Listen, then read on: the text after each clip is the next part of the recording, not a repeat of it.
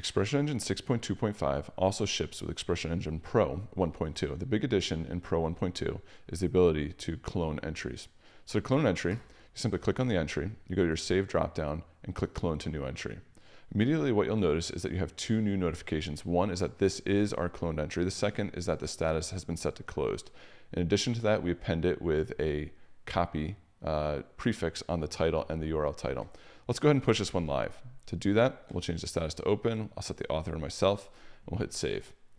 If we go over to the front of the site and we refresh, we'll notice our new cloned entry is here. So from here, you can go on and edit your entry as normal. You can enter edit mode, hold the title, you can update it here, and move on. In addition to this, I also want to show you how to turn off entry cloning on a given channel. To do this, you simply go over to channels, choose our blog channel, settings, we're going to scroll down to enable entry cloning. We'll toggle that off. We'll hit Command S to save it. And now when we go back to our blog channel, what we'll notice is that the ability to clone an entry is no longer present.